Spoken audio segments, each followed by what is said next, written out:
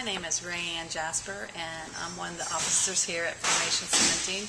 Um, My husband Brian Jasper is the the president, and we're a cementing service company for oil and gas.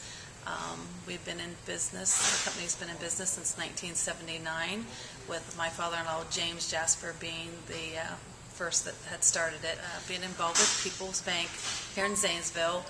Um, Probably about three years now. They've done some things, some of the simple things for just some of the small questions that we have, to getting credit lines, to um, just our checking and di- direct uh, deposits, just uh, have all the answers to all of our questions, and we have- just been just very grateful with just the personal aspect of, of People's banks. So um, just just been very happy with People's since we've switched. Just even just knowing them uh, enough that you could call them on the phone like you would a friend, and um, and they would get things solved for you. They're always very fast about calling us, keeping us updated.